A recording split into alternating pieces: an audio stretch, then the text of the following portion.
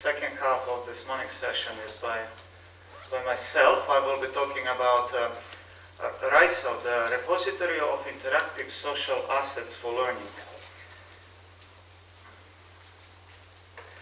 RISAL is um, started as a teaching and development um, project that was funded by Faculty of Education and the members of the project are myself, Professor Nancy Law, and Dr. Jan van Aalst and Ms. Uh, Wing Wong.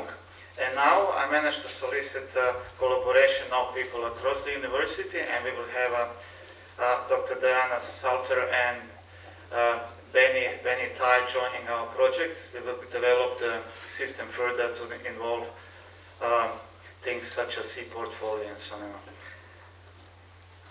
Now project objectives. So we want to collect um, a platform that would allow collection, management, sharing of digital assets developed by our community. But not just assets that are developed by our community, but also the, uh, the stuff that is found as useful by our community. For example, the stuff they find on the internet. They want to catalog and deposit in a system.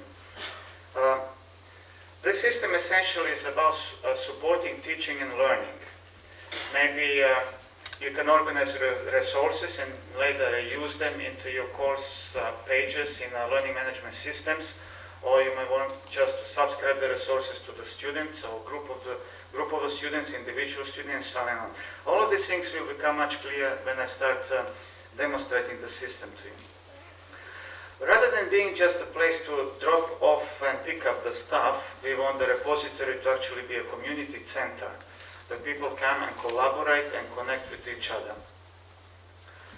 And we also want this uh, platform to be a platform for conversation about resources, about possible pedagogical strategies for the use of resources. Key idea that we borrow from Web 2 is that you, on Web 2 you have a, basically thousands and millions of the in ordinary internet users who develop content such as blog posts, uh, videos, uh, presentations, and so on and on on internet. And now the challenge is the challenge is really how how to select useful stuff from this wealth of information on available on the internet. And uh, similar things is happening in educational institution. The teachers regularly, every day basically, they're developing some notes or some PowerPoint presentations. Students are finding useful stuff on internet and they, all, they develop their own stuff. And now we currently we're not uh, kind of collecting this material and we do not have strategy for the use of this material. What is happening now in learning management system, the people can just uh, upload the resources into their own course spaces, and resources often remain buried in those course spaces accessible only by the students enrolled in particular course.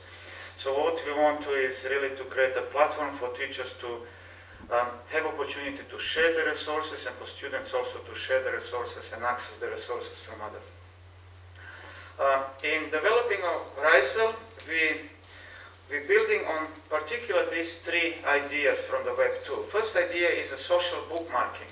Social bookmarking, um, then social networking and social repository.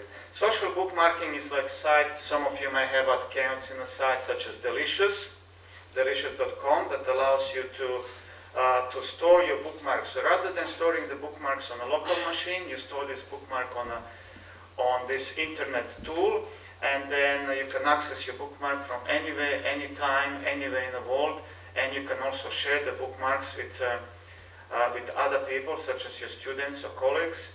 In addition, you can tag, the, tag your bookmarks, means uh, you attach the uh, keywords describing what the bookmarks mean in your own uh, uh, way, and you can also provide some some uh, comments. Also the similar system, such as another similar system is Diigo or for example something more academic. We have you like where people uh, bookmark academic articles then the references articles. They tag them. And CiteULike for example allows you to export uh, uh, the bookmarks in a, in a form suitable for EndNote and reference, like the referencing the variety of the social bookmarking stuff that we reviewed on the internet to get an idea how we can actually develop a system to, that is useful for, for us. There are things like highlighter, edit tags, click marks, Connotea, and so on and on. The second idea of social repository, we're building on ideas of YouTube, that allows you to, to upload the videos and share them with, uh, with people. Then we have things like Flickr, where, you can share the images. SlideShare, where you uh, share PowerPoint presentations that, that gets uploaded and then converted into Flash format. Audio, where you share the audio file. So we want to actually create, create a platform that is not disintegrated, that you can share only one type of media or bookmarks or resources, but actually something that you can share everything that we develop in an educational institution.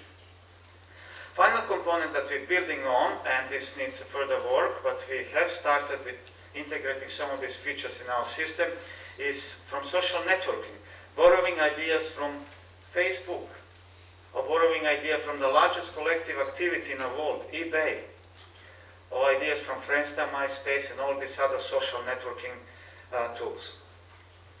Now, this is the interface of the repository, so I will uh, go to demonstrate to you how it works. So when you get to the, the, the site, the address of the site is risal.cite.hku.hk. I will display the address uh, again later on. When you get to this address, this is what you see. Basically, there is a list of resources that's been recommended by various people. And the, things like uh, interactive learning object, for example. There are things like web bookmarking and stuff on the internet. Like you find a useful website out there that you want to bookmark, because in that way we actually creating a sub-collection of the internet as perceived as useful by our community. We have PDF file, and you see that the things like these icons here, maybe some of you know about this, maybe some of you don't know, but this is, we think that this is very important in contemporary time because uh, uh, the corporate, traditional corporate regulations are not really fully relevant to how people use the content and what they do with the digital tools. So traditional corporate uh, uh, regulations needs to be revised, expanded, and one way to do that is uh, through so-called Creative Commons. So if you would provide a piece of content online and you want to share this content, then we're giving you option to define how you, as a creator, as an author of that content, we're giving you option how you want to share that content.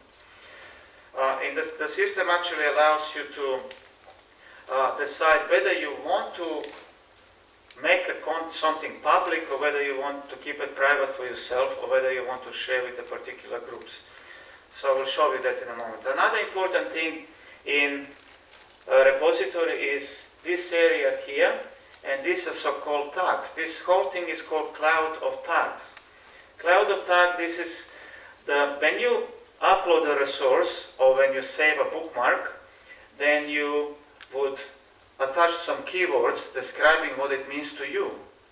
And uh, as we're collecting the bookmarks from these uh, tags from many different people, we're slowly developing a cloud of tags that then can be used to discover useful resources later on. So you can, for example, click on something called education, and that will display a subset of these resources